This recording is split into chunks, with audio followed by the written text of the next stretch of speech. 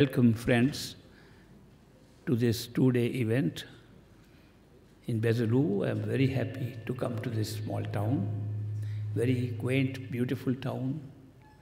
I just met the mayor of this town this morning and congratulated him.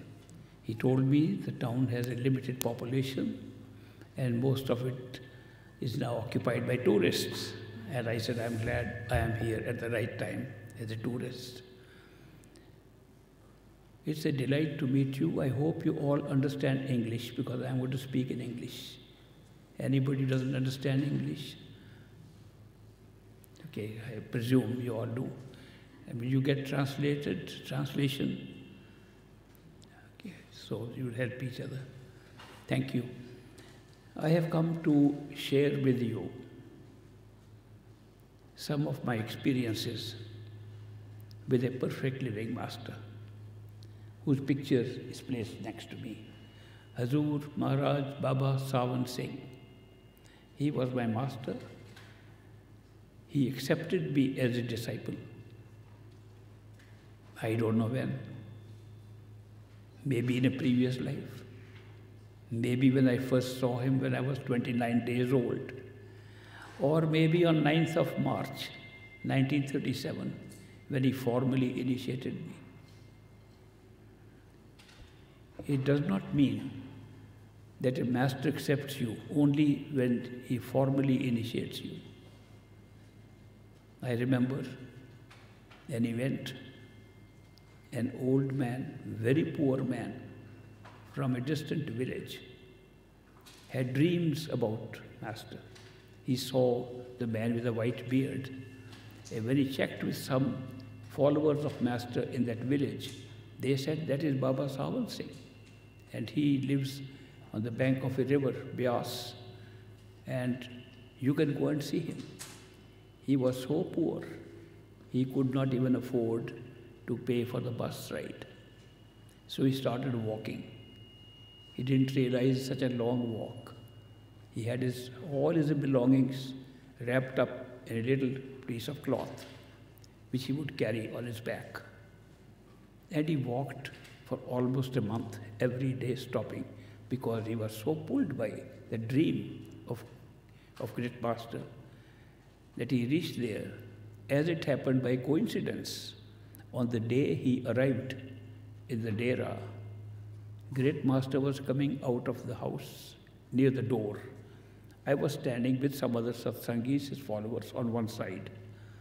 And this man saw great master he threw his bag, that piece of cloth, and ran to him and grabbed his feet and said, Please initiate me, because he had heard the word initiation from the other followers of Sangis of Great Master.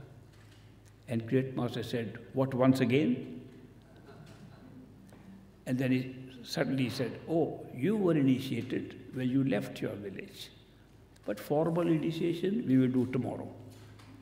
I'm mentioning this story to you because initiation is not something that happens outside, it happens inside. When a master accepts us, he has initiated us. What is the meaning of initiation or the meaning of a master accepting us? The meaning is he has taken responsibility to take us to our true home, Sachkhand, where we belong. We don't belong here. This physical world is a very temporary place where we have come for a short period. This life is very short compared to trillions of years in cosmic time that have existed even on this planet. So we do not really know when we are initiated. A master can initiate us and we may not know for a while till we go within to check out Initiation does not take place outside on the physical plane. Initiation takes place inside, at the third eye center, which is the doorway to our spiritual journey. What is the third eye center? It's the point within human body, between the eyes, behind the eyes, between the ears. If you were to draw two parallel lines behind the eyes, and draw a line across from where the ears are your conscious self is sitting on the bench on the center of that line. That means there's a place in the physical body from where we operate as conscious human beings. And that is why it is there that a master really initiates us. What does he do when he initiates us? He places himself there for us to have an experience of him with us. That means he becomes part of us, part of our consciousness, part of our experiences, right from that moment onwards inside. But since we are not looking inside, we are looking outside, that is why sometimes we don't know we are initiated. But when we go inside and withdraw our attention from this physical body to our inner body that sits inside, we can see the Master in the same form in which we see him in a physical body. Except that we can see that Master even in utter darkness, even with closed eyes, even in a dark room, you can see the Master very clearly inside during meditation. So, meditation is a process. Meditation is merely a method to withdraw our attention and go within to see the Master and to see that we are initiated by the Master. He is sitting inside. Because we can see that Master in utter darkness, we call it the radiant form of the Master. But at the same time, when we see the Master in radiant form inside, we are also having a radiant form. Because that is the nature of our form at another level of awareness, level of consciousness. So that is why when people say we want initiation, they sometimes think it is merely a formality of telling us what, how to repeat the mantra, how to use certain words, how to listen to the sound. The method is nothing to do with the initiation. The method is merely how to go and check out that you are initiated. The method is just to withdraw your attention and go within. And that is why it's important for us to verify that we have been initiated by going within. Masters do not come to set up any religion. They do not come to set up any societies. They come to pick up their marked sheep, the marked people who are like shepherds. They collect their marked sheep. And what is a marked sheep? What is a marked soul? A marked soul is a human being, living human being, who is seeking for the ultimate truth, who is tired of this physical world, who says, I have had enough of this. This is not my place.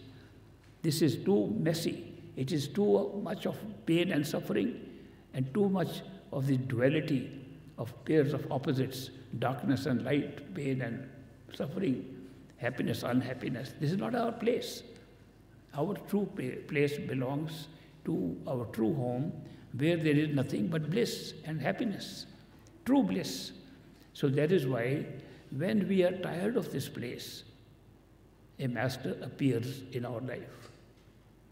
When we are ready to go to a true home, he appears. We can't find him. Why can't we find a master if it is very well known that a master can take us to a true home? The reason is the master comes in the same form which we have. He takes a human body like we take. He is born and dies like us. He lives life like us. He eats and grows and does everything like us, falls sick, takes medicines, get treatment, goes to hospital, just like us. Therefore, how can we ever identify who is a master? It's very difficult to know who is a master. I'm telling you, we cannot find a master. We can find some teachers who are known to be teachers, and we can learn many things from them. And they teach us even spiritual truths. They teach us this is not our home, that our home is somewhere else, that we can, through meditation, through the practice of withdrawing attention within, find out our true home. They teach everything. They teach about dis- disciplines. They teach what is a good moral life to live. They give you all the teaching. And we also call them teachers, gurus, masters. But a perfect living master is somewhat different. A perfect living master does not come to teach. He comes to take back those souls which are ready to go back to their true home. Period.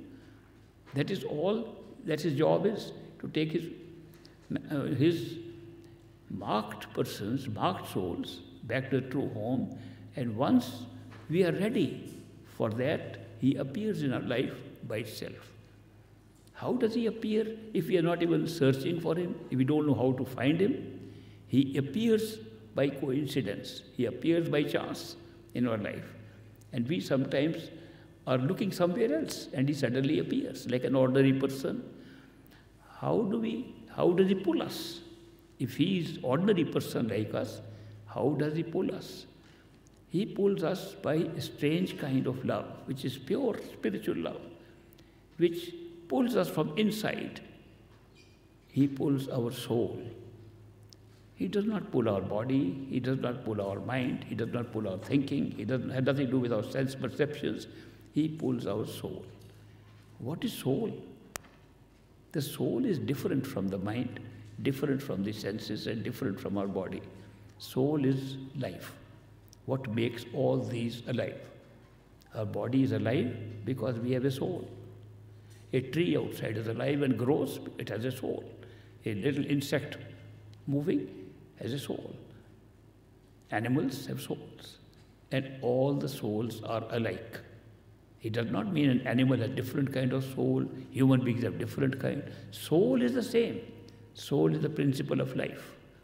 That life manifests in different forms, and life can manifest in a plant form, it can manifest in insect, birds, mammals, human, angels, gods whom some people worship. They are all manifestations of soul. Soul can take so many forms. Why has the soul to take so many forms? Because for the physical world here, a law has been created which governs our life. It has been created through a very simple process of first creating time and space. When time and space are created, then on the time events are placed. And we as living souls are given a mind to live through that time space. And we use sense perceptions to heighten that experience. And we get a physical body to cover up our soul and mind and senses. And so we can experience all of them through a physical body which looks more real than anything else. So, this way, in a beautiful way, a reality has been created. And this world looks absolutely real. And we are locked out from all the other realities and we think this is the only reality. We want to check is this table real? And we touch, touch it. Look at it. Flowers are real, you can smell them. We can use all our sense perceptions to determine if things are real. Are people real? We can touch them, we can hug them. We can feel they are there, they are friends, all are real. This reality has been created in a marvelous way, and the method to check what is real is the use of sense perceptions, which govern all our experiences here. If we had no sense perceptions, the world would cease to exist for us. So, sense perceptions are very important. But sense perceptions also work in other forms of consciousness. For example, we all go to sleep and have dreams. Some people have fewer dreams, some have more dreams. Actually, everybody has dreams. Some, re- some remember them, some don't. A lot of studies have been done on that. Now, supposing I was going, I was sleeping, had a dream. In the dream, I saw this table, and I saw this cup of water here. In a dream, I see this, and I take it as real. I pick up the water, take a sip of it. Very tasty water, very nice. I enjoyed having a sip of water in my dream. Then I wake up. I still remember I tasted the water, but there was no water. There was no glass. There was no table. But I checked it in the dream I touched it. I drank the water. I did everything to confirm with my sense perceptions it was real. Then why did I not know it is a dream? Because I was sleeping and was not aware of a physical state of wakefulness at that time. I was only aware of the dream state. Is it possible that this experience which we are having now as a physical experience is also dreamlike? Is it possible we take it as real and we confirm it's real only with our sense perceptions? And if we woke up one day and we found this was also another dream? Is it possible? Not only is it possible, it is truth. And you can find out by a strange method by which you can wake up at any time in the middle of your sleep. In the dream state, you can also wake up if somebody nudges you. Say, get up, wake up. You wake up with that. Somebody from outside who's awake is telling us, get up. And we are in the middle of our dream. Supposing they are dreaming that we are carrying our horses from the stable and holding our horses and going. We're having dream. And some friend of ours who is awake, he tugs, touches us, get up, get up. What do we say? We half asleep. But who will take my horses? I'm speaking half in dream, half in wakefulness. My voice is coming in the wakeful state, and the dream sequence, what I'm seeing is still the horses in my hand. And then I wake up. And he says, I will take care of your horses. So I wake up. There are no horses. Did that man tell a lie when he said, I'll take care of your horses? Of course not. He knew I was dreaming, and that is why I was thinking of horses. Now, the man who is awake, if he wakes me up and he participates in my dream by saying, I'll take care of your horses, he is only participating in my dream in order to wake me up. When he says, I'll take care of your horses, I wake up. And then I find there were no horses. But I told him there were horses. Can you imagine this could be our situation?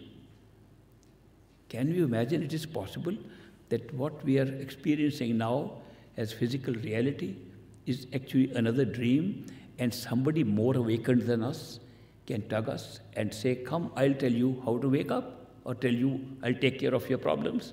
And we wake up and find there were no problems. That it was part of our dream. And he woke us up. It's quite possible. Now, the, is it just a theoretical model I'm setting up to say it's possible? No. We have the great opportunity as human beings to have that advantage of getting woken up by one who is already awake. And the system is very simple that we are, if we are sleeping and have this physical body, what body do we have when we are awake? When we are in a dream body, we know we know we slept on a bed and we were running around, flying in places.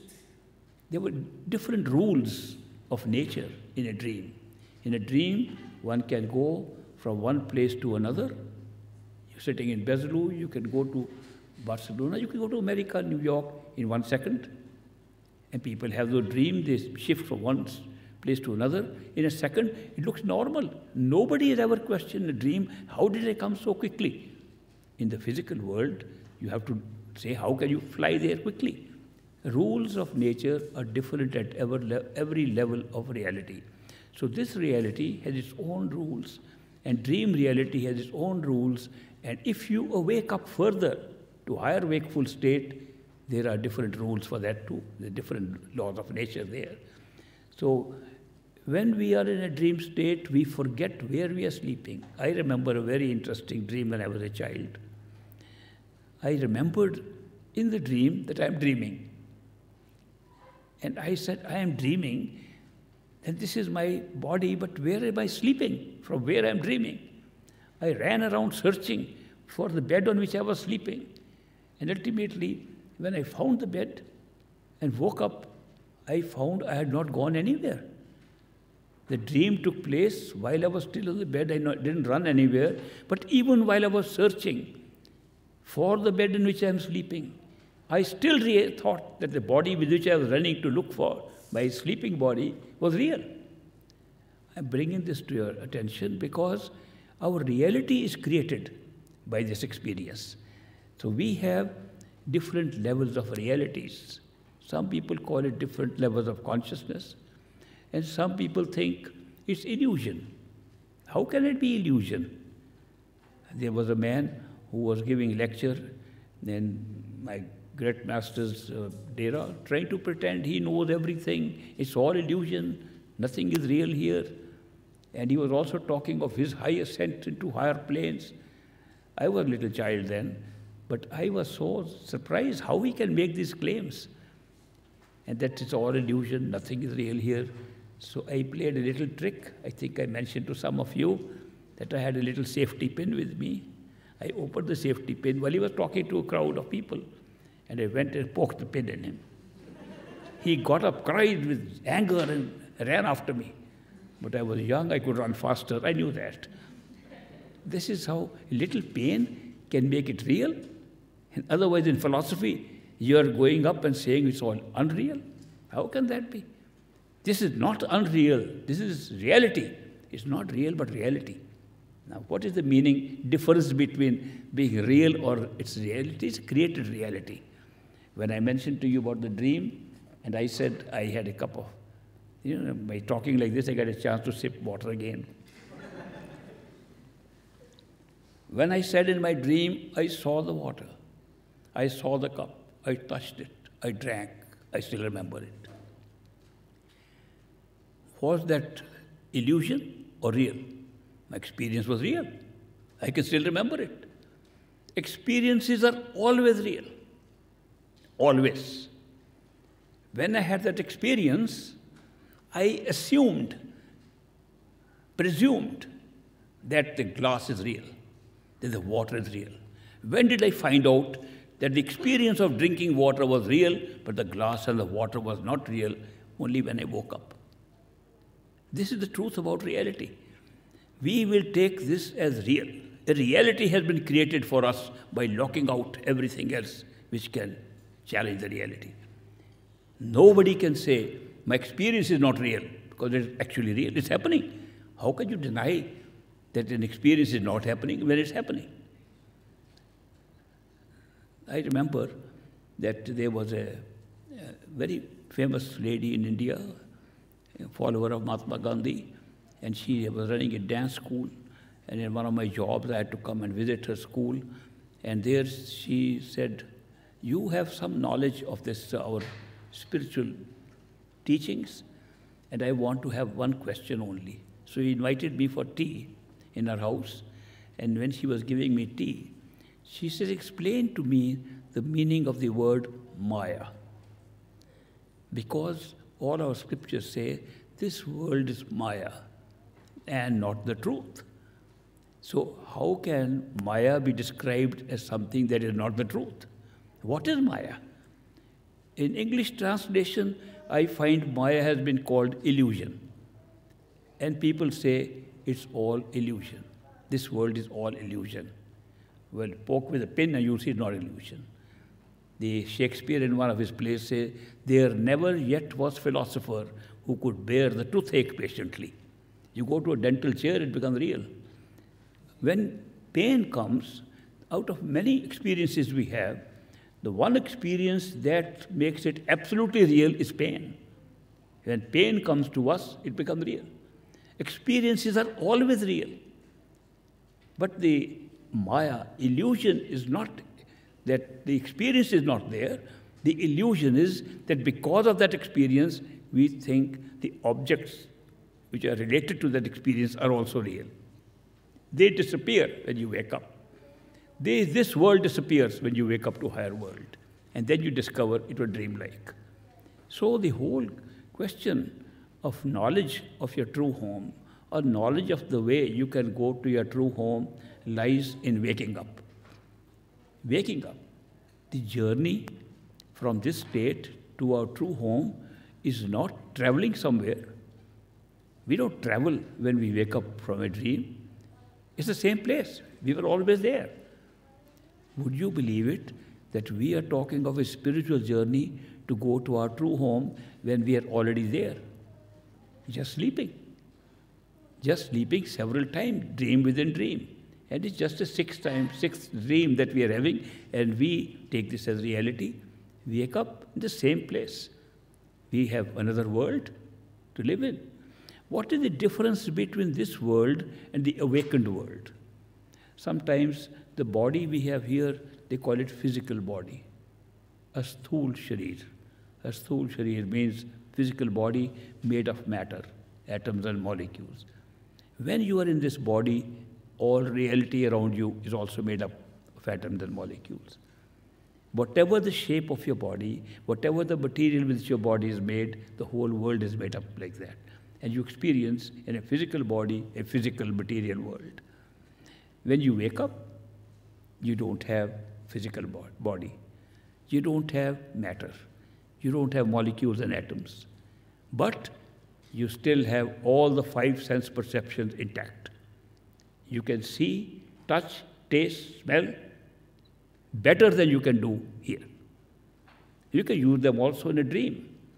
So these five sense perceptions continue to persist even if the body changes form or does not have a form at all, it will still be the same. The sense perceptions persist.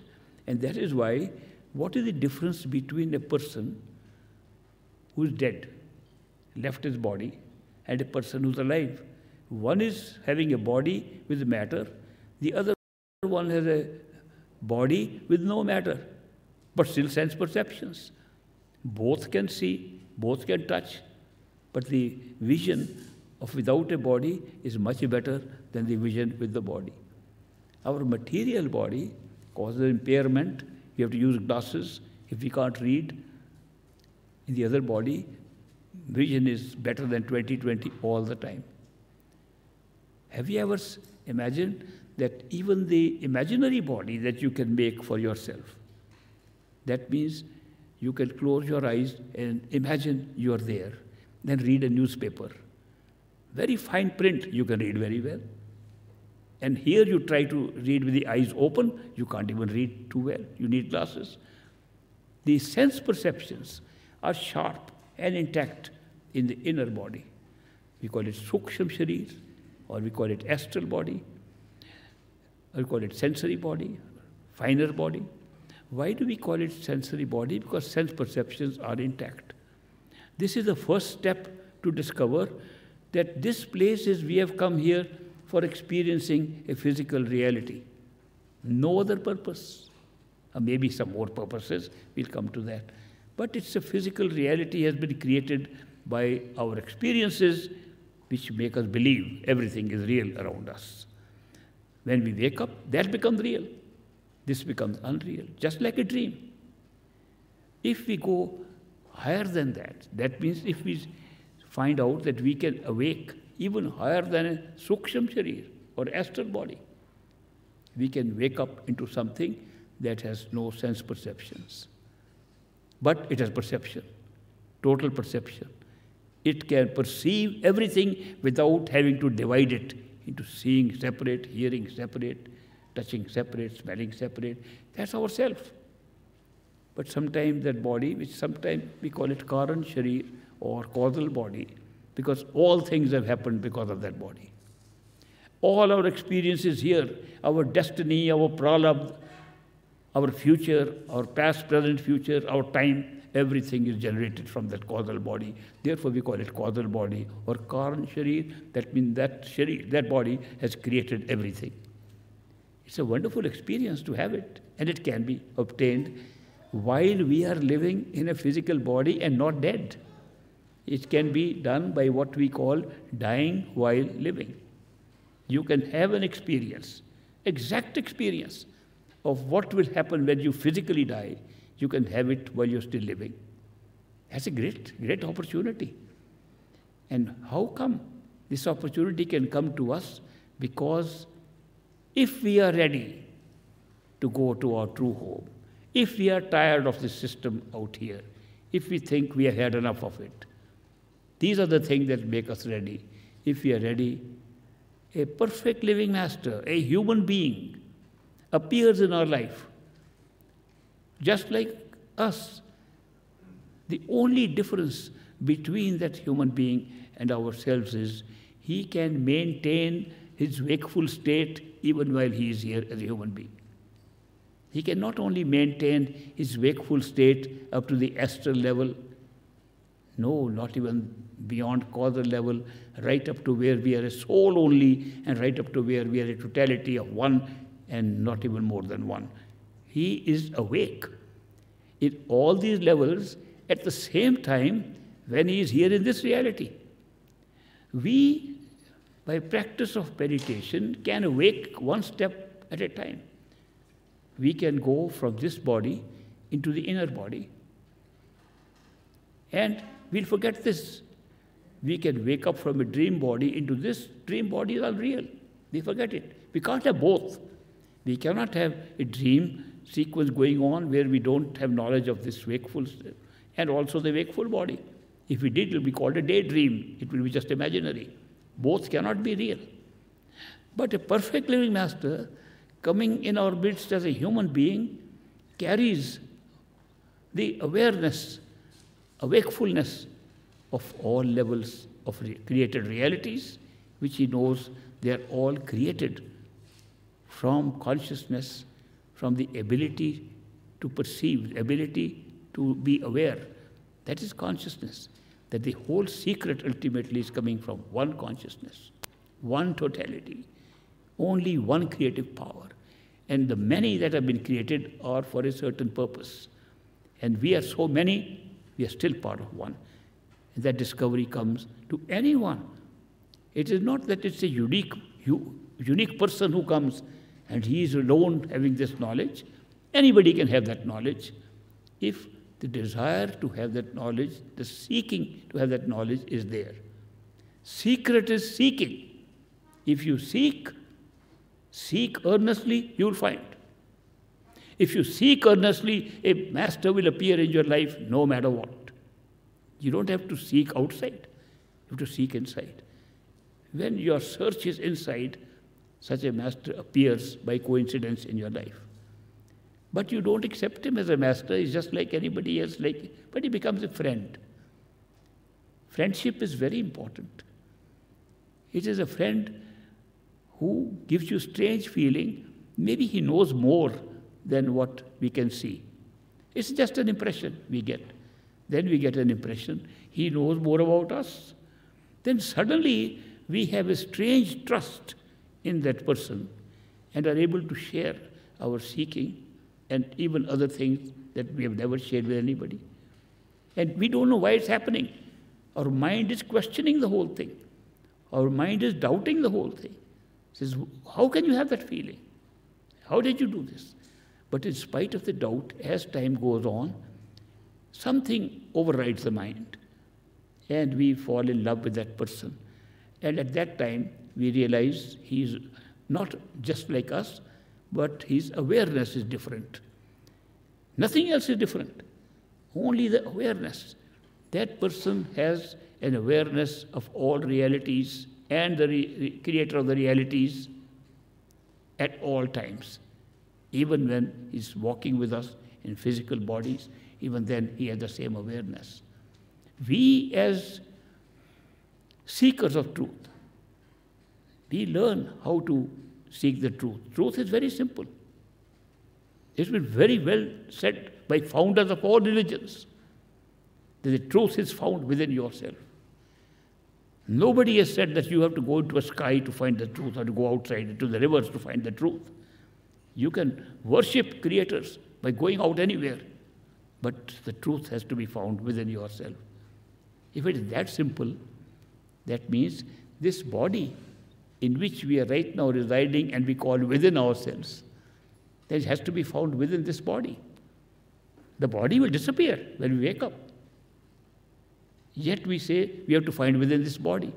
So we can only find one wakeful state in this body. Then you wake up, there's no other body except that one. When we wake up further, the astral body is nowhere, it's a dream. Causal body is a reality.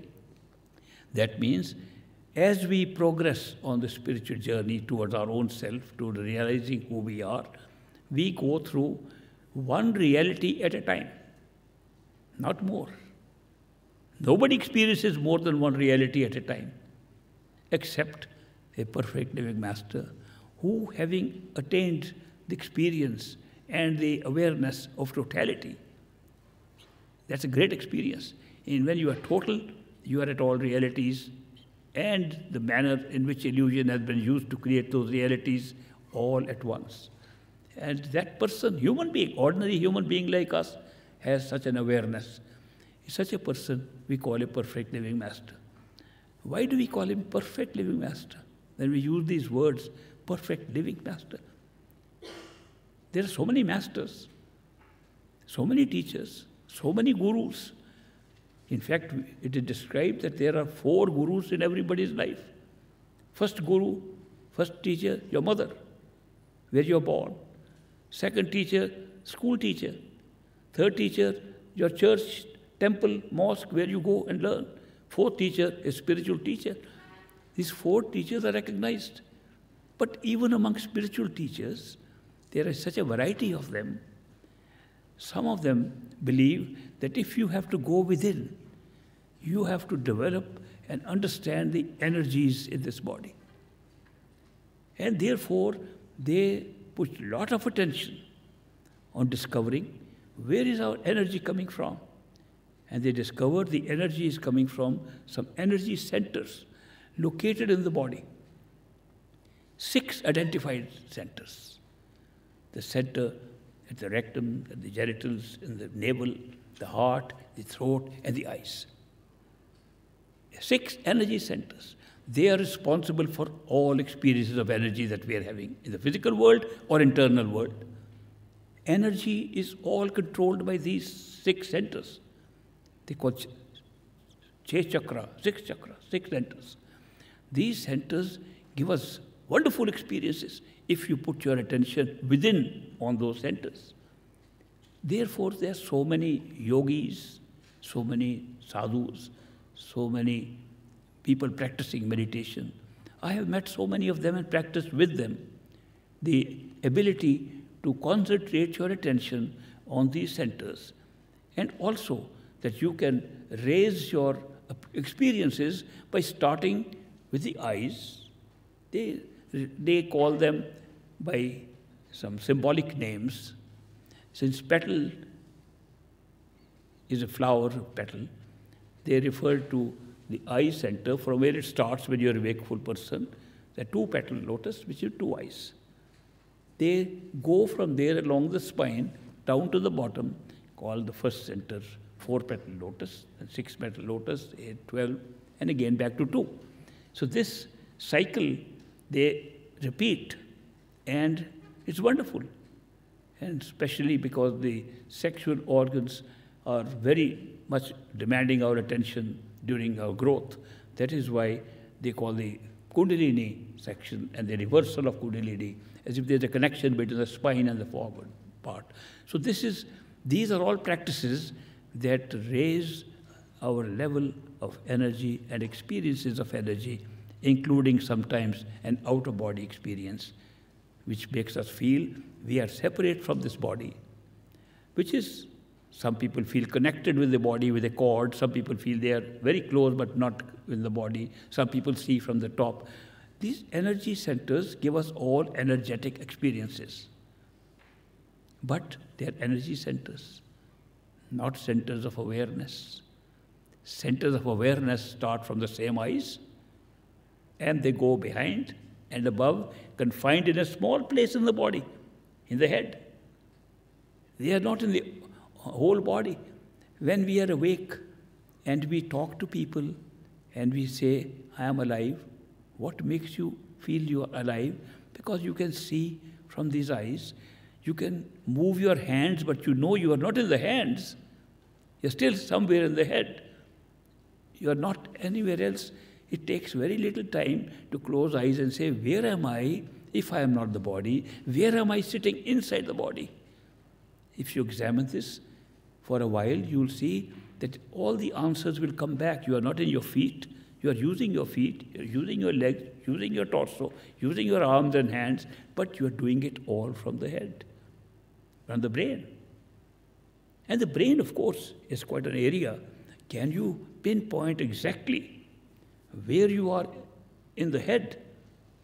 If you say, I am only a point of consciousness, not a body, then where am I? If I am operating as consciousness as just one point, then where am I operating in a living state, in a wakeful state? You examine, go within, examine, look, say, where am I operating from? You will find you are operating from the center of the head. Biologically speaking, you are operating from some, some point between the ears behind the eyes, in the center, where two glands have been identified the pineal gland and the pituitary body, just at the top of medulla oblongata. For people who are interested in understanding the brain, they can see there's a certain point. It's the most well protected point in the whole body. The skull and all that gray matter is all protecting that point. When we are looking with physical eyes, where are we looking from? Are we looking from the eyes or are we looking from somewhere else? We have two eyes. We could have had one eye, would have been different. Why do we have two eyes? We have two eyes because we see two images. You see, these 3D movies have come and they wear glasses and they, you can see 3D, flat screen become three, three dimensional because we use two different pictures. Two different pictures are shot at the same level where the two eyes are. Now, when these two eyes merge two images, and that's how we see. When these two eyes merge two images, they create a distance. They create spectroscopic effect. They create an effect that things are near and far. With one eye, it's very difficult to have that experience. But two eyes make it very easy. If you place a finger in front of you and look at a distance, you see two fingers. When you start looking at the finger, make it one finger, it creates the distance immediately. And the ability for us to make two fingers being picked up by two eyes into make one eye, where is it taking place? Examine carefully, it's taking place exactly at the same point where the pineal gland is, where the pituitary body is, where the, what we call third eye center is. Third eye center has been called because these two eyes are looking even now from the third eye. There's no other place from where you can see. The eyes don't see. Eyes, how do we say we see physically? We say we uh, see because these eyes just make pictures of what is in front of us. Rays of light fall upon things, upon people, upon objects, and they travel into eyes, creating two different images on the two different eyes because they're seen from two different angles. Two images are in the eye and they're taken back, refracted by the lenses and by the aqueous and vitreous humor in the eye. So very well built to cause an upside down image to be put on the retina. It's been examined. The image is actually there on the retina. What's the retina? Retina is the back of the eye, which is an extension of a nerve called the optic nerve. The optic nerve spreads itself at the back of the eye, and when the image falls on it, the optic nerve ending has rods and cones.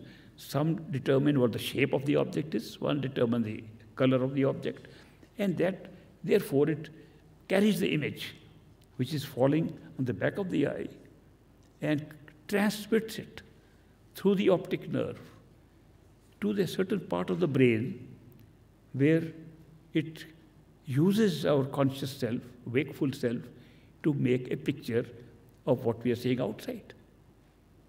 That's the process, well established process, well documented process. That is how we see with the eyes. Now, supposing, let's imagine that the retina has been so created, it can create any image it likes. Supposing it's the power of the retina. do you know we'll see the world exactly as we see now? The rest of the process is the same. Supposing it's not the retina, it's the optic nerve that has the power as a nerve to create images. We see the world exactly as we see now. The rest of the process is the same. Supposing it's not the optic nerve or the brain, wakefulness, consciousness, you are awake and conscious and aware, if that is creating an image, that will create an image on the retina, will create the world as it is now. How do we know which is happening? Is a real world outside and we are seeing it? Or we are seeing it and creating a real world? This is a very big question being asked for more than 2,000 years. Do we see a tree because the tree is there? Or do we see a tree because we are seeing it and that makes the tree? Which is the answer? They have not found for 2,000 years. They can't even determine today whether we are, our ability to see, our ability to have sense perceptions is creating a reality. Or there's really something outside which has been created already.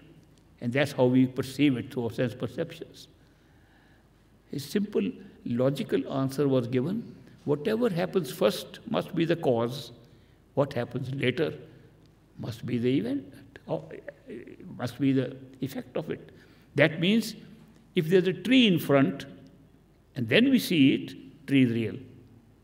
If we see it first and then the tree comes, then seeing is real, not the tree. Now, when they tried to examine this, which is first and which is later, they were shocked to find that both things are simultaneous. There's no time lag at all. There's no time lag between the trees and the seeing of the tree. Therefore, they could not determine what is the cause, what is the effect. The debate is going on. But actually, they could have found out another way. Not by empirical study. Science today is confined to what they call empirical studies.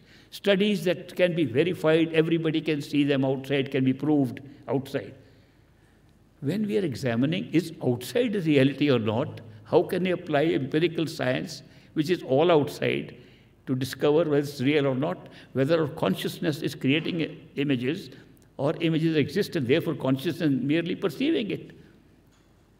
This debate has been going on, and those who believe there has to be a material world before we can see it and experience it, they call them materialists.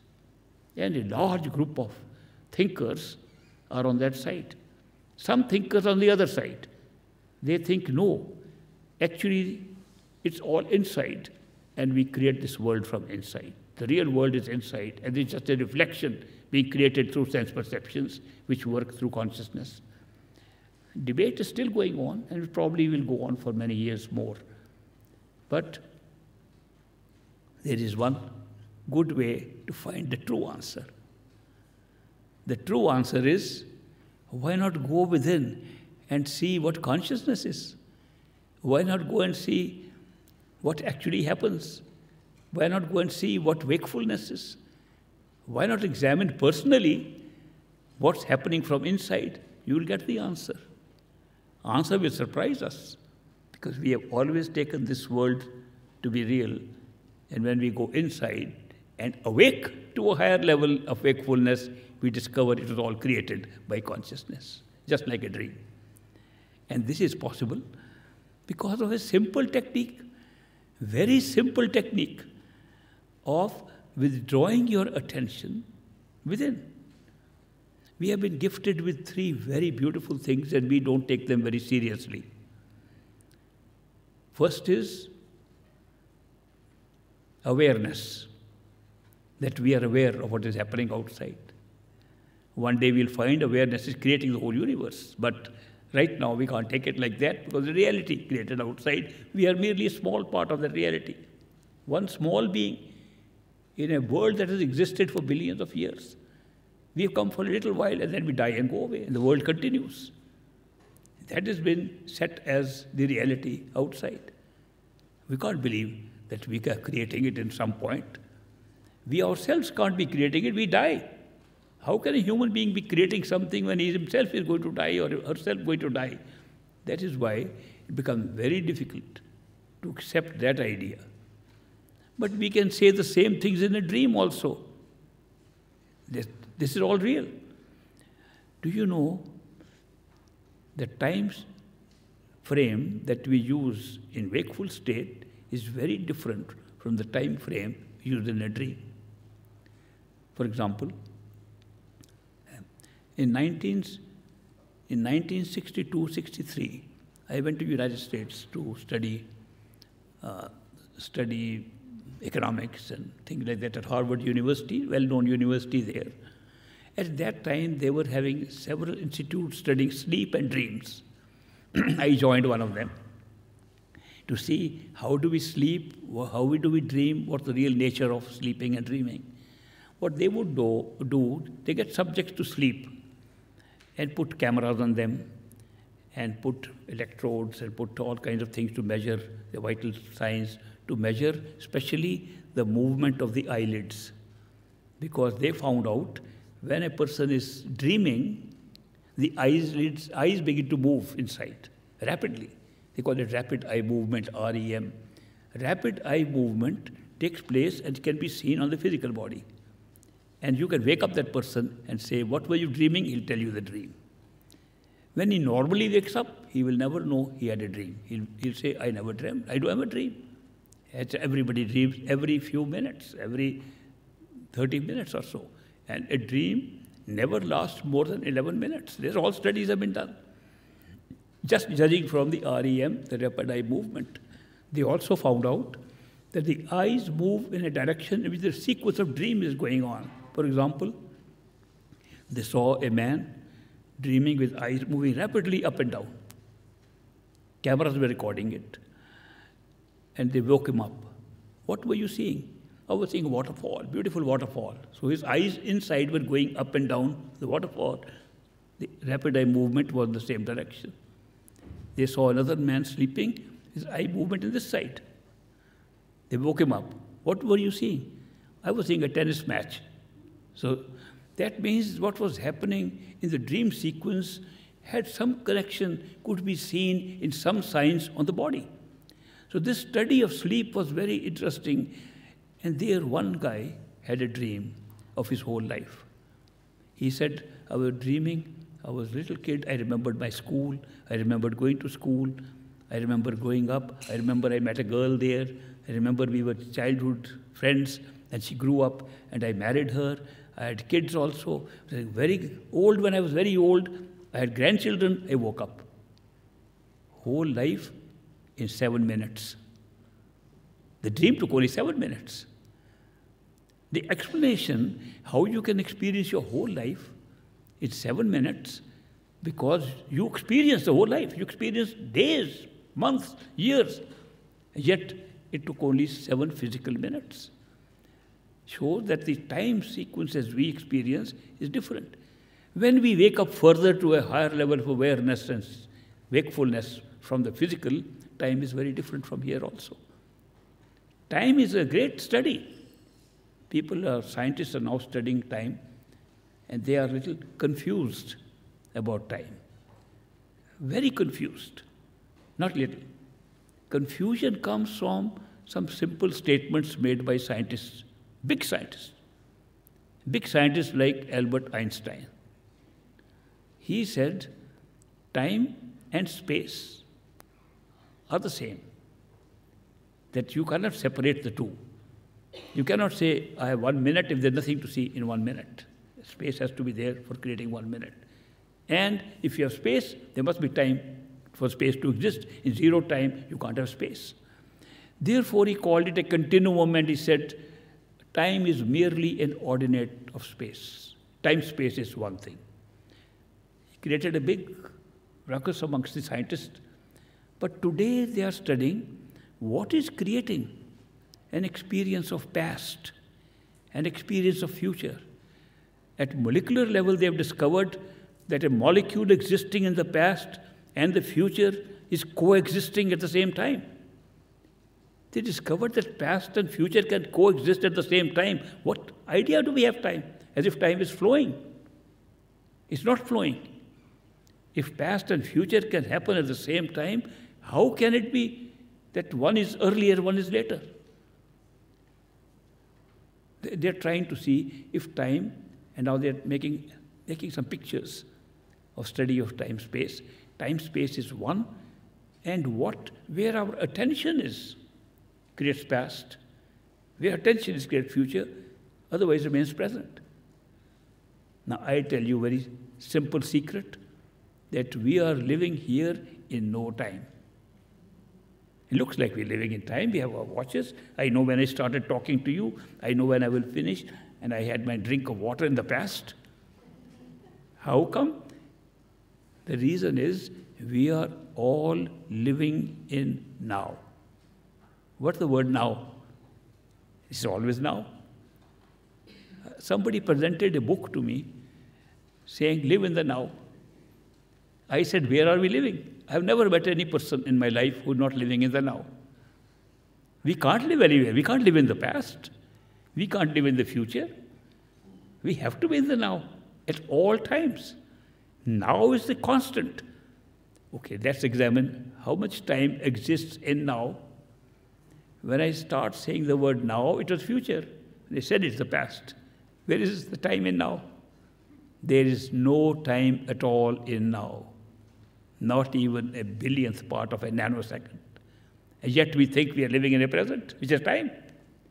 How is this impression created in us that we are actually living in time when the only point where we can live is in now and now has no time? What's creating this strange experience in us? The strange experience is being created because what has just happened, we call it now. We call an immediate past as now. It's not really now, it's past. Every word I speak is in the past. Before I speak, future. Therefore, present has no time, and the immediate short past present we are calling now. That means what we call present is actually past. You can examine it. It's the truth that what we call present is what has just happened. We call it present. What about future? At least future must be existing from where the past is coming.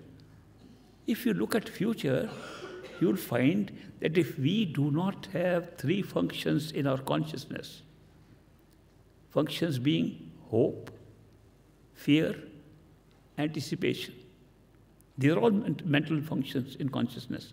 Supposing nobody hopes, nobody is afraid, nobody anticipates anything, future disappears. Do you know these three words disappear from all dictionaries? There'll be no future left. How do we hope? How do we fear? How do we anticipate? In time. That means it's immediate past which causes hope, immediate past which causes fear, immediate past which causes anticipation.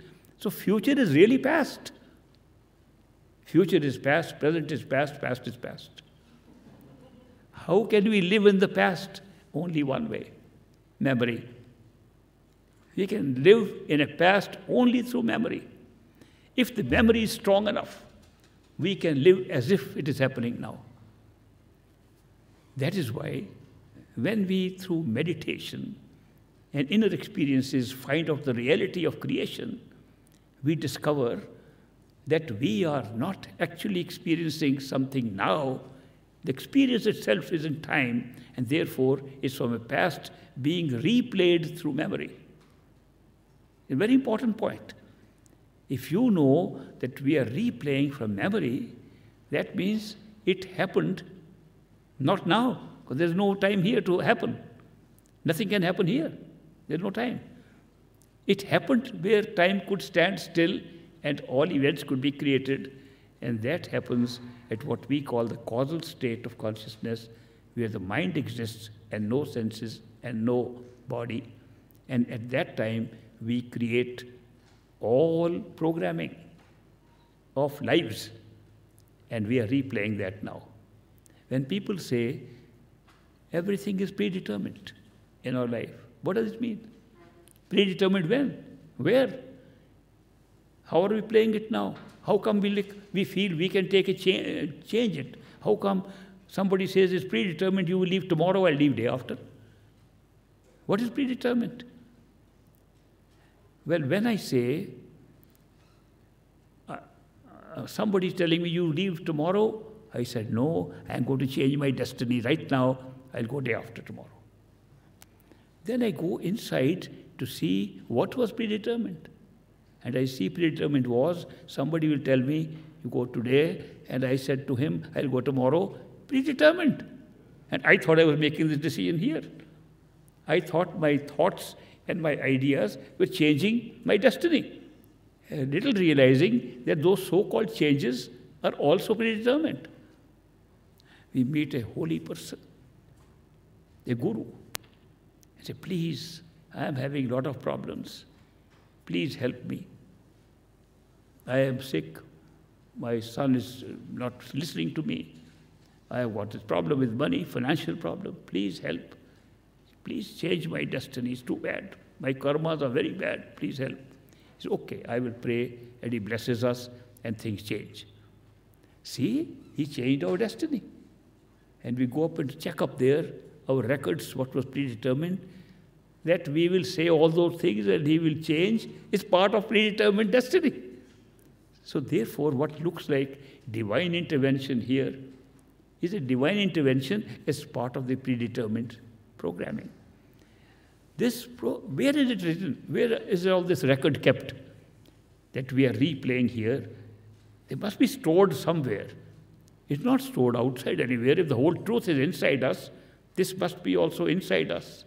It's all stored at the causal plane of consciousness to which we can awake by awakening two times from physical level. They're simple. It's also called the Akashic records because they say it's stored in Akash. Akash means sky. That there's a sky in which I sometimes imagine must be like a big sky with a lot of DVDs stacked there. And every DVD is one lifetime. So when we decided to have an experience, physical experience, we picked up one DVD. When we're playing it, we think it's a life. DVD does not change. It's pre-recorded. But when we see the show, like a movie, when we see the movie, we say, now what will happen? We don't realize it's already happened. It's going to happen. The same way that's already pre-recorded in the DVD. And we play it we are cut off from the knowledge of the future of what will come in the DVD. Similarly, in the physical plane, we are cut off from the knowledge of the future. It's the ignorance of the knowledge of the future that's creating a sense of free will that we make choices.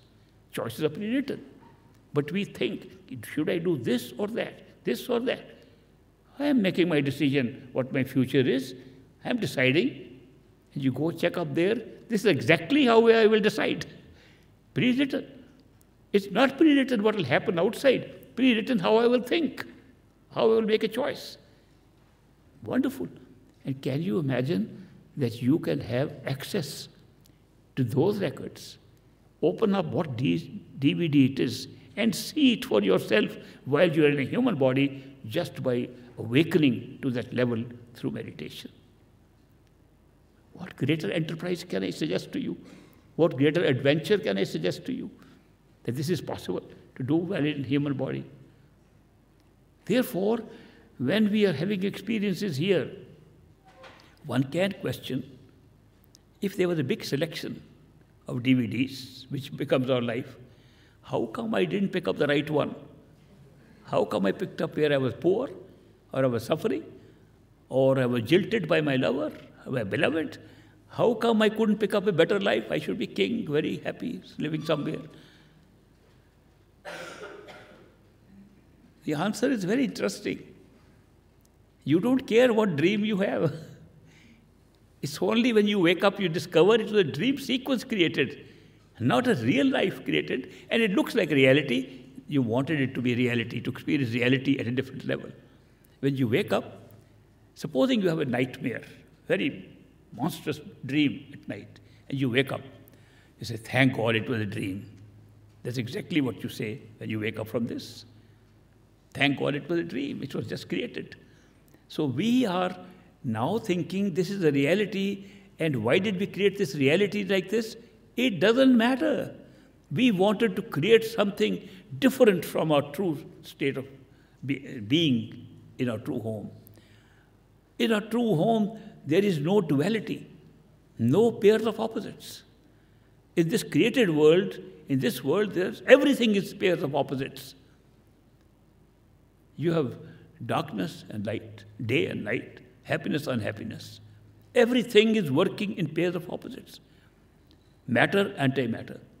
You can go to any level and see nothing is sustained here. They say if, if an atom of matter touches an atom of antimatter, they become zero and annihilate themselves. They can only be sustained in external scientific determined world and in the interior experience world, this, this world can only survive in pairs of opposites. Imagine if there was light, like some light like this, all the time, no darkness. Whether we close our eyes, open our eyes, light is always there. Nobody would ever have seen it. There would no word called light that will disappear. Darkness created the experience of light. And similarly, all experiences here have been created by pairs of opposites. Our true home, pure totality of consciousness, has no pairs of opposites. Duality exists only in three levels physical, astral, causal. There's no duality beyond that. In our true state, we don't have it. Then, how do we experience as consciousness in our true home if there's no opposite? Well, we did a good job. We created a world of duality, a world of pair of opposites, which becomes an opposite of our true home. Justifies the existence of this whole creation. People have these questions. Why was this world created? Why are we here? We are here for a very good reason to appreciate our true home and love our true home and love our true self better than we can ever do by creating a world of opposites, which are the three worlds that we created here. Beautifully done. Perfectly done. That is why when we use those words, perfect living master, we are talking of a human being who has experience beyond the mind, beyond duality, beyond pairs of opposites, while he is here with us. If such a person comes to our life, he is living in perfection. There is no imperfection in oneness. Perfection comes in duality. Therefore, all imperfection has come through the mind in these three created worlds. That's why anyone who has realized a state of being, a state of, of the self, which is not covered by these three bodies mind, senses, and physical body is perfect. That's perfect. Tell you one simple experiment. You go within and examine the whole world, created worlds, all three. Put them together, say, is the creation perfect or imperfect? You'll find it perfect. And inside, if you see part of the creation, it's imperfect. These words are very important. That imperfection is created by a division by mind. The mind divides. It's been created for that purpose. Why have we, we been divided? If we were one with the Creator, and we are part of the Creator. What was the need to divide? Good reason. In our original state, we were a strange kind of thing called love. L O V E, love. That is not created, it was there. We started with that. There has to be something starting in consciousness so the consciousness started with love, bliss, total knowledge. What do we call total knowledge? With no thinking involved to have knowledge, we call it intuition here. Intuitive knowledge. Sometimes we call it gut feeling. We get it here, we get it at other levels, and that was our reality in our true home. When we are here, what is our consciousness consisting of, which makes us alive? There's a soul, which is life. Soul disappears, life disappears, we die. What else dies with it? Our mind, senses, body, everything dies. But supposing we retain our mind, thinking machine we retain and make it alive, but have nothing else, we are in a so called causal body. Supposing we add on another costume on the self, we call sense perceptions, we have an astral body. Supposing we cover itself with a material body like this physical, we have three covers upon our soul mind, senses, body, which is called causal body, sensory or astral body, or physical body. This is how we are working in this world. It does not mean that we have left any place or come here. Everything is intact. The spiritual journey is to become aware of what is inside by becoming unaware of what is covering it. It's only a question of using the process of shifting from one awareness to another. Nothing more. And we have these three great gifts I was mentioning awareness, attention, and the power to concentrate it. Big things. Of course, on top of that, there's another gift, of a, gift given to us called imagination. I'll tell you, these are the only things required for discovering your true self. They're given right here to us. If you have awareness that you are awake, if you have attention, that means put it in part of the awareness. We are aware of the whole hall here. I can look at one person, my attention goes there. I can look at these flowers, my attention goes there. Look at the picture of my master, attention. Attention is move. Awareness does not move. Attention moves. If attention moves, we can place it where we like. We have been using it. We read a book, we put our attention on the book. And when we are reading a book very seriously, we don't have the same awareness what is outside, what's happening, or attention on the book. Imagine the power of attention that when you concentrate it, you can become unaware of other things. It's amazing. There are stories about great, um, great arrows, people who were marksmen in arrows, how they concentrated completely on the target. Then they were very good. The attention was scattered, they couldn't do much. Concentrating of attention is a very useful thing, not only for getting work done in this world and using our conscious abilities to work in the world, but also for going within. Is the same attention you can place inside also. That's the power given to us that we can, instead of putting attention outside, we can put, put our attention inside. Now, that's where the catch is, I must tell you. The catch is that we have always put our attention outside. So we have learned how to focus our attention on things outside. When we are told to put your attention inside, we try to focus attention on what? Focusing attention means you are separate from what you're focusing attention on. How can you put your attention on yourself? Focusing attention requires the flow of attention to something on which you are focusing, always. This is not focusing attention at all. This is withdrawal of attention to yourself. That's where people are trapped, caught. Even those who are doing meditation. People are doing meditation for years and years, trying to focus attention on something. They think they're looking for third eye center. They're looking where they are sitting inside. They make a little picture of themselves and put stress on their head, get headaches, trying to figure out where they are and do, don't get anything at all. Focusing of attention gives us nothing. Somehow we have been trained always to focus attention. Withdrawal of attention is something different.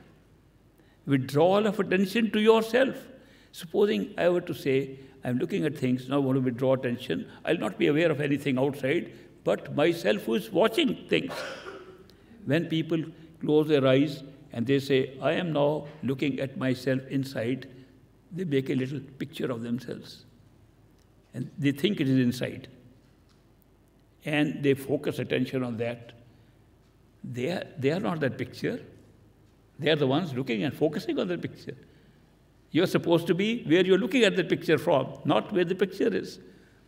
Moreover, I can tell you one secret that when you make a picture in the darkness by closing eyes and you think That is you. There's not even inside, it's outside, right here, outside the eyes. I have demonstrated to people that when you think in meditation that you are now watching yourself, do one little trick. Raise your hands and bring them to your eyes. One can always bring one's hands to one's eyes, even with eyes closed. We know where they are. Anytime we can touch our eyes. When you have a picture of yourself sitting inside, bring your hand slowly to your eyes. You will see, you will cross that picture before you touch your eyes. Where was the picture? Outside. We cannot make anything inside. It all comes out outside because we have been used to looking only with these eyes. That is why we can't even, with that image inside, leave the awareness of the body. It continues to be there. And we get no results. Ultimately, we get tired and give up and frustrated. It doesn't have any meaning. We had the correct, correct instructions, correct description of how to seize what is inside. We didn't know how to follow it.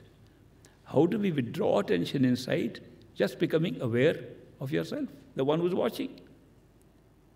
Now, that can be helped very much by the third, fourth thing that I said we have been gifted with imagination. Supposing you were to imagine that you are standing next to this table. Most of you can very easily imagine you are standing here. You are sitting there in the physical body. Your imaginary self is here. What, what has brought your imaginary self here? Attention. It's, it's been created outside. But it, you felt, I have gone there. Therefore, when you imagine you are there in the center, you are there, not seeing something. Anything can be seen by you, but you are there. When you are there and you watch what is happening around there. Why is there darkness in front? Where are my ears gone? How far are my eyes from where I am?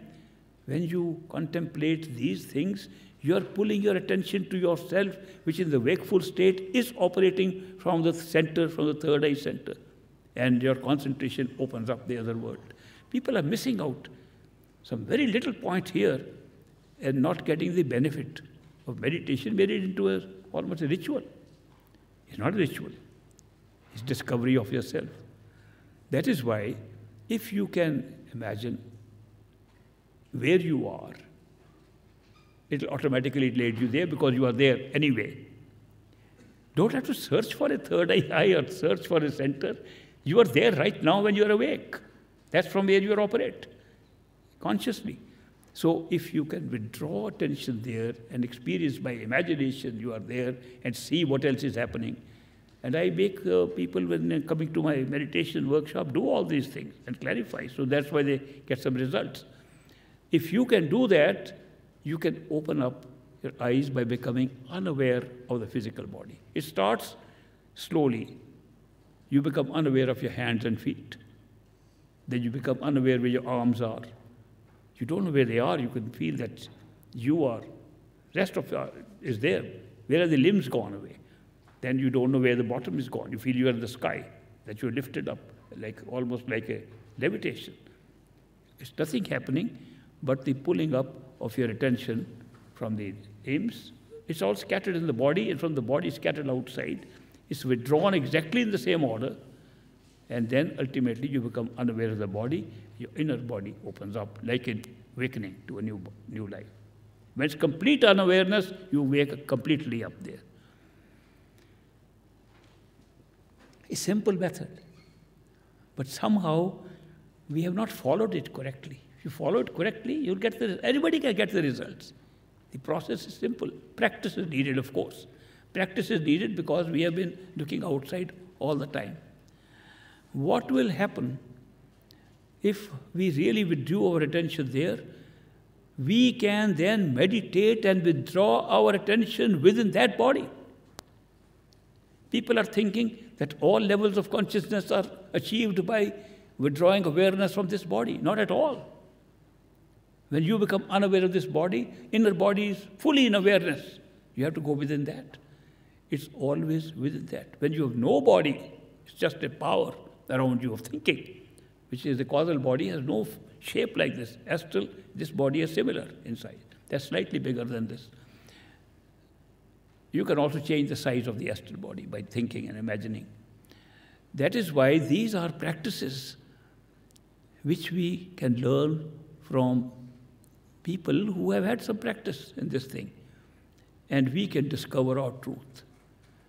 Even waking up one step after initiation by a perfect living master is good enough. Why? That's where he is. We find he was there in actual manifestation from the day of initiation, which might not have been the day of formal initiation outside. The day he actually accepted us, he's waiting for us there. When we meet him there, I'll tell you a few results of that, what happens. For one time at last, you find loneliness disappears from our life. Otherwise, we are always lonely.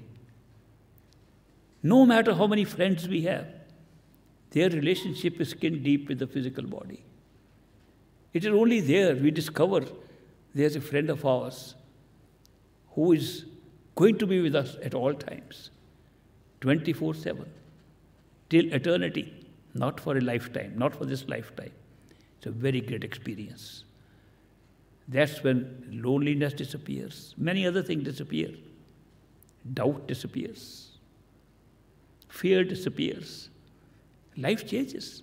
And we are walking like ordinary people with a strange experience. And sometimes people wonder how you are so happy. What's making you happy? What's making you so contented? What's making you live life like this? It's all that one experience of finding the radiant form of a master within. And after that, your part is over. He can from there guide you how to withdraw your attention from there. And when you withdraw attention from there, he's in the next form. What happens at the end? At the end, you find that you and the master were the same. It was your own self that generated an experience of a master. It was self discovery. It was your own self waking up by pre-programmed program at that moment to wake up to that higher level of self-discovery. Master was merely created for the purpose of discovering your own self. And self-realization, instantly after that, can lead you to discovery of creative power, which is not only self-discovery, of dis discovery that all selves that we thought were separate was only one. It's a beautiful experience. Imagine only one life form exists in which this can be achieved human life. You cannot discover if you are a plant or a tree or an insect or a crow or a bird or, or an animal. They don't think and decide. They work on instincts. So we, do we. We are also animals. Most of our life, 80%, 90% sometimes, is all instinctive reactions to what's happening, programmed in our DNA molecule, programmed for everything. Only 15, 10, 20% times in our life, we have decisions to make. Shall I go right or left? Shall I take this job or not? Shall I marry this woman or not? Shall I be friend with that person or not? That is the time when we do something which no other life form does, called deliberation. We deliberate in our mind. We think hard what is good and bad, what is better and worse. We apply a mind of a moral code inside with our mind. And then we decide. This experience, no matter whether it's pre recorded or not, is an actual experience in the physical world. And it's called free will. This actual experience that we have is the experience designed to get us back home. It's this experience of making a choice of free will that makes us a seeker and gives us experience of being a seeker. And when you experience seeking, you find the truth, and a master appears in your life. So the whole secret is seeking. Whoever seeks within, not shouting outside, seeks within, finds the way. I can tell you, if you seek earnestly, a master will appear in your life. The secret is seeking. It may be that you may have some masters coming in your life who take you up to a certain point. They are experts, they have got experiences. Some masters will take you one, one half, one stage, two stages, three stages. But we don't call them perfect living masters, they are masters. And depending on what our seeking is. If our seeking is only for going to heaven, and we have heard descriptions of heaven, and we think that's a great place to be in, they can take us to heaven. And such masters will come in your life who have been to heaven and who can tell you how to go to heaven. All heavens are in the astral plane. There's no heaven beyond that. All hells are in the astral plane. These are created universes, you can go and examine them. But only when you are seeking not to have any of these experiences, but to be in your true home, your true self, discover who you really are. A perfect living master comes into your life and guides you as if it is a preordained programming done. It is programming done. Who did it? The true self, which is yourself. Some people say, is free will real or unreal? Big question. They ask me all the time. If free will is not real, then why are we trying to do anything? Things will happen. If things have to happen by themselves, why should we make any effort? You should make an effort because it is also predetermined how you will use your free will. But the experience of free will is different. It's based on ignorance. You don't know what is pre programmed. That is why you have free will. But when you have free will, it's a real experience. It's a real experience that is being used to seek and to find. There is no contradiction. Is it God's will we are living or mind's will? There are two wills. We experience them here. When God speaks to us, we say God's will. When a mind speaks to us, we say mind's will. Which one should we follow? God's will. How do we understand God's will? Do we have to ask questions or does he just express his will? There's one famous mystic, Rumi, Maulana Rumi, Jalaluddin Rumi, he gave an answer to this question. He says, People ask me, What is God's will? We want to live in God's will. He said, God's will is described, is, is given to you all the time. If He has given a spade in your hand, He's expressed His will, dig. If He has given a pen in your hand, He's expressed His will, write. He has created the circumstances in your life expressing His will. That means if you don't think too much, but follow what is around, live in what they used to call go with the flow. If you really go with the flow, you are living in God's will. And if you think too much and get confused, that is your will. Then we take a mental decision today, and next day we say, Oh, sorry, I, that was not a good thing to do. We regret. If we take in God's will, we don't regret. Now, how do we actually experience? The actual experience between God's will and our will, or spiritual will and mental will, the actual difference is when you think and decide in time, that's your mental will. The mind is being used. When you don't think and decide, which is called intuitive will. Intuition does not take time. Intuition does not function like the mind. Intuition is spiritual. When you have a gut feeling, intuitive feeling, you are talking spiritual will. If you have mental will, then you are governed by the mind and you have problems. The mind becomes almost a negative entity when you try to go within. It's trying to keep you outside. It is designed to have use of these sense perceptions and in a physical world. Therefore, it will always want to have some pleasure, some joyful things, some nice things outside, designed for that. So, when you want to go against that, the mind becomes a negative power and says, Why? Why? We are missing something here. There's nothing inside, it's all darkness. Close your eyes and see. Mind talks to us like this. And therefore, it becomes a negative power for us. Whereas the soul wants to discover its true home and is looking ways to come in. There's a little clash. When you use mental will by thinking and deciding, then you are acting according to what the mind is saying. When you act intuitively, when intuitive feelings come, gut feeling comes, and you know without the use of the mind, it's your spiritual will. Can we develop spiritual will? Because we can't say we can get intuition when we like. A friend of mine said, I'm developing intuition. I said, How did you do that? He said, I said I can decide something so quickly. I said, Let me see you decide something. He said, Ah, this is what I'm going to do. I said that ah was not intuitive. that was your mind working to see what to do. Intuitive feeling comes, gut feeling comes so suddenly, and it comes without our having to develop it because it's natural to us. It's a spiritual thing. When we have a intuitive feeling, intuitive thing to do, it's our spiritual will. How can we develop it? The way to develop it is to negate the mental will. If mind is saying, do this, do this, and something is telling, don't do it, intuitively, then say no to the mind. Mind will argue, not, not this time, okay, let me, one time, no. Only this time, no. Spiritual will develops automatically.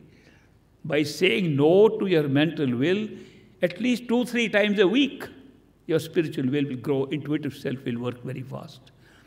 I'm sharing all these things with you because I know you are all seekers. That's why you are here, otherwise, you wouldn't be here. And I hope the little tips I'm giving will be helpful to you. I'll explain a little more about the process, further process of how the self in ourselves is expressing itself, not only through the experiences generated by the sense perceptions, by something that is manifesting within ourselves, which has been described in many different ways. It has been called in the Bible, in John's Gospel, opening verses, the Word. In the beginning was the Word. And the Word was with God, and the Word was God. The opening sentences. They're placing the Word ahead of God. In Rig Veda, Indian scripture, he says, In the beginning was a sound, a Nad. The Nad created the creative powers. Nad created all gods, and Nad created everything, sound. Some description is given that there's a music of the spheres.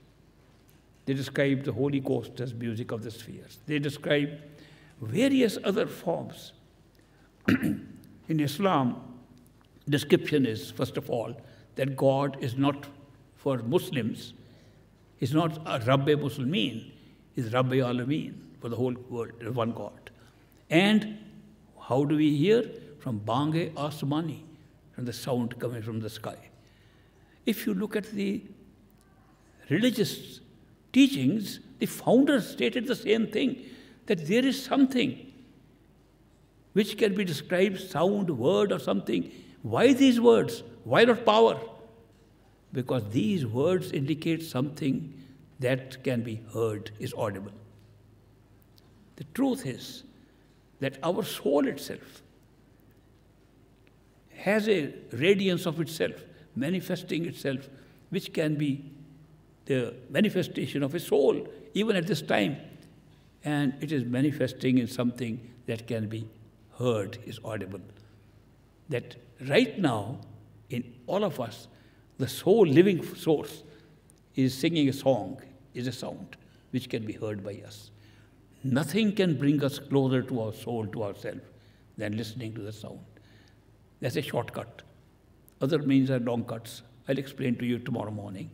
If you come here again, 11 o'clock tomorrow.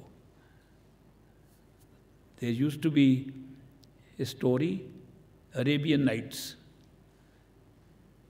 1,000 stories were told by one woman to the king. The king was so ruthless, he used to call a woman and have his pleasure time with him and kill the woman next day. New woman. So one clever woman came and began to tell him a story. And when the story reached a real end, she said, I'm tired now, I'll tell you the rest tomorrow. So she was not killed. She kept on telling story after story. She told 1,000 stories and lived for all the time. Those Arabian Nights. So when I am mentioning that the shortcut is really inside by listening to a sound alone, that makes an interesting story tomorrow morning, 11 o'clock. Thank you very much for your patient listening.